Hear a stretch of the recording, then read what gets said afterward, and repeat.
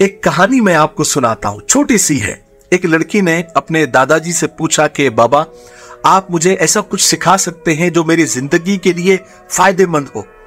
दादा ने कहा कि, एक सबक सिखाता हूँ, लेकिन पहले कुछ बड़ा करो, जो सबकी तवज्जो हासिल करे, अटेंशन हासिल करे। लड़की ने पूछा कि, क्या?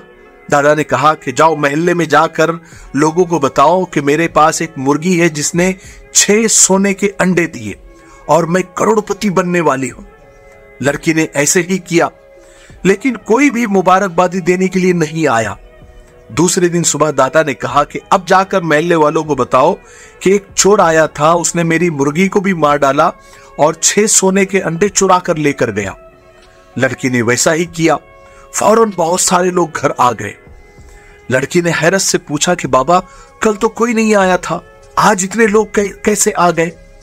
दादाजी ने मुस्कुरा कर कहा कि बेटे, जब लोग अच्छी खबर सुनते हैं तो खामोश रहते हैं। लेकिन बुरी खबर सुनते ही फ़ौरन आ जाते हैं। लोग तुम्हारी कामयाबी से ज़्यादा तुम्हारी नाकामी देखना चाहते हैं। इसलिए बेटे, याद रखो, दूसरों की राय की फ़िक्र बिल्कुल मत करो।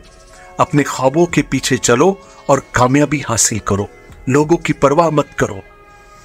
आपको भी बात समझ में आई?